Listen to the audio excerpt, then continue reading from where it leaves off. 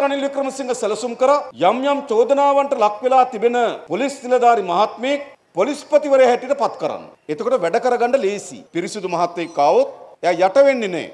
ඒ නිසා මොකද කරේ? ශ්‍රේෂ්ඨාධිකරණයෙන් වරදකරුවෙක් වුණු කෙනෙක්. දැන් පොලිසිය මහත්තුරු ඉන්නේ මොකටද? පුරවැසියෙක් වැරද්දක් කරනව නම් උසාවි ගෙනියන්න. හැබැයි අපේ පොලිස්පතිතුමා කවුද? එතුමා උසාවියෙන් දඩ කාලා.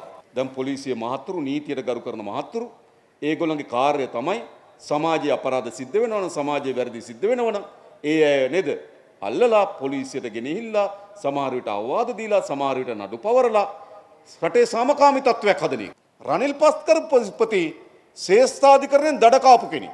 ශ්‍රේෂ්ඨාධිකරණයෙන් විනය තීන්දුව ගන්න කියලා තීන්දුව කරපු කෙනෙක්. මොකද කරේ? ඒකට විරුද්ධව ශ්‍රේෂ්ඨාධිකරණ නඩුවක් දැම්මා. නඩුවක් දැම්මට පස්සේ ඊයේ ශ්‍රේෂ්ඨාධිකරණෙදි මොකද උනේ? ශ්‍රේෂ්ඨාධිකරණ ලංකා ඉතිහාසයේ පළමු වතාවට පොලිස්පතිගේ වැඩ තහනම් කරා. හරිද? පොලිස්පතිගේ වැඩ තහනම් කරා. දැන් මොකද කරන්න ඕන?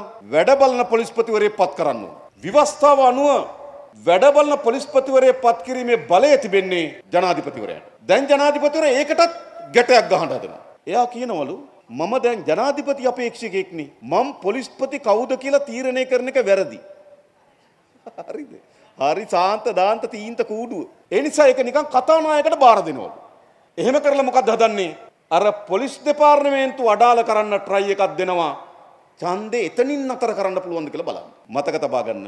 ඇත්ත ගත්තොත් රනිල් මේ ගහපු ගැට ඒවට පෙරදිලා තියෙන පෙරදිල්ල හැටියට ගත්තාම ජනාධිපති ඡන්දෙට කලින්ම රනිල් වික්‍රමසිංහ පරාදයි.